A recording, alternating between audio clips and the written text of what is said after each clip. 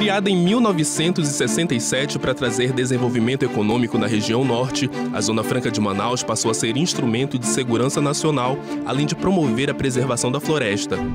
Nós precisamos entender que é um, um direito de minoria. Nós precisamos interpretar a Zona Franca como um direito de minoria. Como um direito de minoria? É o direito de quem não tem competitividade por se encontrar distante do polo fornecedor de insumos e do polo e dos consumidores, é, nós estamos distantes, nós não, tam, não temos transporte, é, o preço Amazônia, Amazonas é muito alto. Mas com o passar do tempo, um modelo que é atrativo com os vastos benefícios fiscais teve a sobrevivência ameaçada diversas vezes.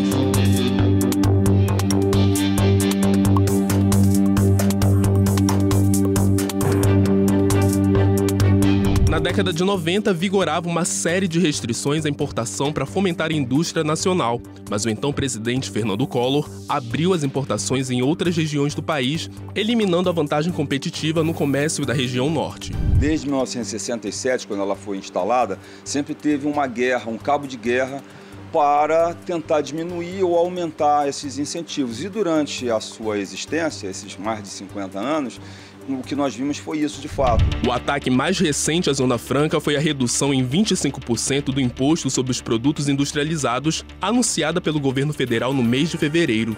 Ele nunca foi muito favorável a políticas de atuação afirmativa, né? políticas compensatórias, como é o Polo Industrial de Manaus.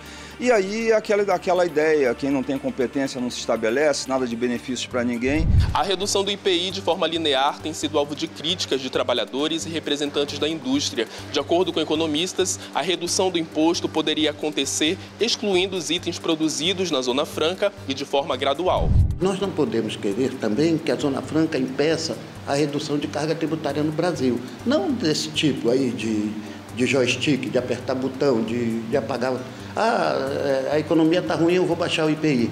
Não é assim. Mas eu acredito que o imposto possa cair é, de uma forma planejada, a longo prazo. Em 2018, o presidente Temer reduziu os impostos de concentrados a 4%. Por causa disso, a empresa Pepsi fechou as portas no Amazonas. Mas a diminuição tributária para outras regiões é uma política macroeconômica e não coloca o polo industrial em risco, de acordo com alguns economistas. Vejam aí o caso de São Paulo, que teve, durante a, primeira pandemia, uma fábrica de automóveis fechadas e agora, há pouco tempo, a segunda fábrica de automóveis fechada. Isso, para um estado como São Paulo, é uma quebra e é, uma, é um perigo, isso sim, terrível para a economia deles. Uma das alternativas para a manutenção do modelo é a integração do Amazonas a outras regiões do país, com a pavimentação da BR-319 e o planejamento para a construção de ferrovias. E por que não botar linha, linha férrea do lado da estrada que já está aberta? Me diga. Eu, eu, sou de uma geração que faz ponte sobre, é, é, é, sobre o mar, que faz ponte sobre o mar. É, que faz milagre da engenharia e você vai me dizer que não tem tecnologia para fazer isso?